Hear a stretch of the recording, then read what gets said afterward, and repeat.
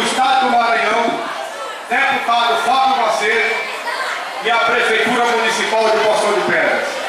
Agradeço aqui também ao vice-prefeito Adenilson, todos os nossos vereadores, todos os nossos secretários que estão aqui presentes. Então, pessoal, vamos brincar, dançar, curtir com responsabilidade.